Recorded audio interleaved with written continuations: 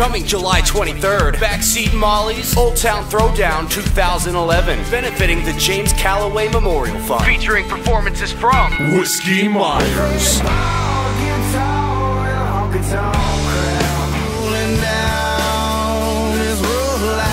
Backseat Molly,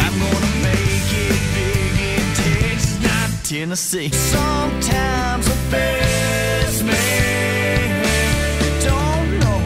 It's the Old Town Throwdown 2011, also featuring Alex Smith and the Two Car Garage. Billy, grab your gun. Life in jail don't sound like fun. All you got is Jack Daniels and Johnny Cash. And a special guest performance from Robert Stoll. Cause I like.